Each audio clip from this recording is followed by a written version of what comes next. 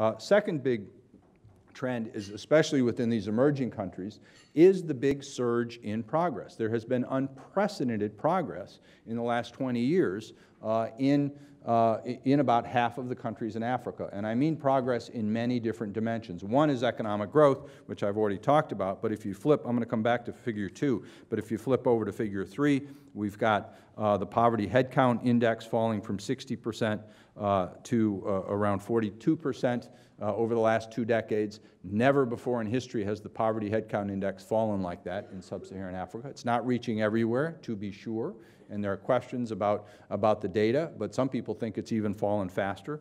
But some of this economic growth, the implication of that is that some of this economic growth is without question getting to some very poor people. But also without question, there's a lot of very poor people that are being left out. But we've got this big drop in poverty. And then figure four shows uh, the child mortality rate, which has dropped uh, incredibly quickly over the last few decades, saving literally millions of lives. And one of the most interesting things about this statistic on child mortality rate is that since 1980, the child mortality rate has fallen in every single country in sub-Saharan Africa, no exceptions. In fact, I know I can say that because it's actually fallen in every single country in the world no exceptions. It's fallen in the United States, it's fallen in North Korea, it's fallen in every country in sub-Saharan Africa. And never, I don't know of any socioeconomic indicator ever in world history that has improved in every single country in the world at the same time.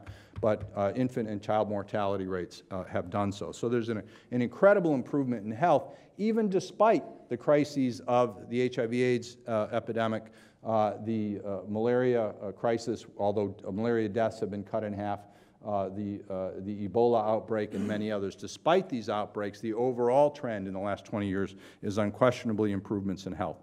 I don't have any data here in education, but the education enrollment rates are way up, literacy rates are way up, and far more girls are in school.